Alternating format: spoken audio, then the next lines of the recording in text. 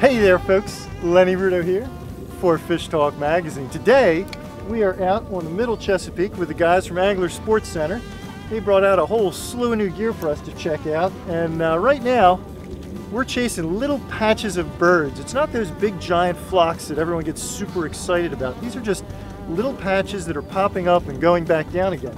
And these can be a little more frustrating to fish because often by the time you get where you're going, when you see the birds working, they disappear.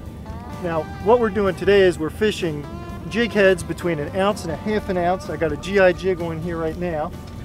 And rather than trying to keep the lure up top when the fish are breaking water, I'm recognizing the fact that by the time I get there, they're gonna be down low.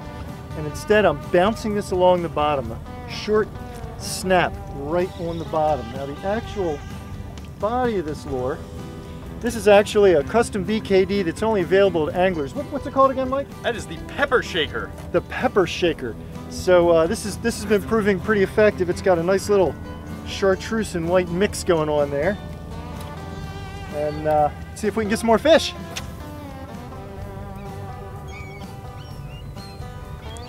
Here's what I'm looking for on the meter, these arches.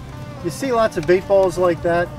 There's another one that's good to see. I like to see the bait, but what I really want to see is those arches. When I see that, I know I'm looking at big fish, and that's when I'm going to shift into neutral, cast that jig out, let it sink all the way to the bottom, and start snapping it.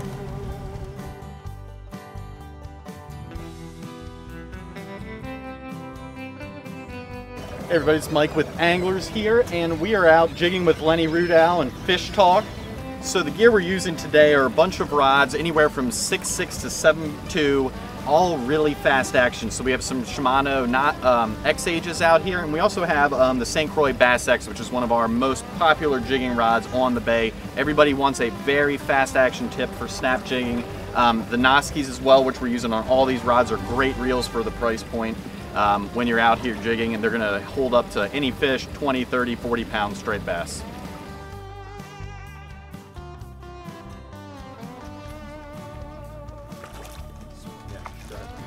So the line we're using today is 15 to 20 pound Power Pro. Plenty, plenty strong enough for any fish out here on the bay and light enough and thin enough that you're gonna be able to get deep quickly with your jig.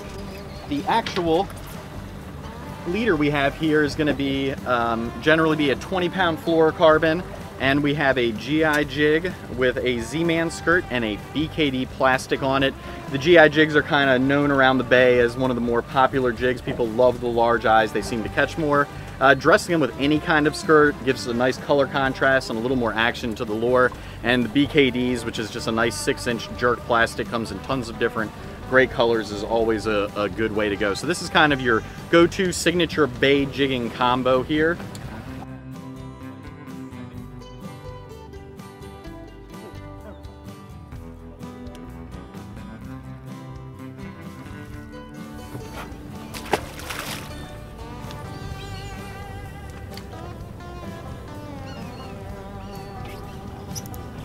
What do we got here?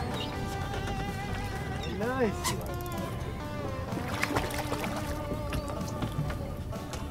Well folks, as you can see, the birds are pretty much scattered out. We've been following the fish a little bit on the meter, had a little success with that. Now I'm not seeing fish, the birds are gone, so let me leave you with this last little tip. When you're following these flocks of birds that are moving around a lot, you don't see fish on the meter, the birds disperse. The thing to do is just to crank it up and move on to greener pastures. Because the bottom line is, you're not likely to have a whole lot of success if you just float around out in the middle of nowhere when there's not a whole lot of action going on. So, onward and forward. Kiss and goodbye.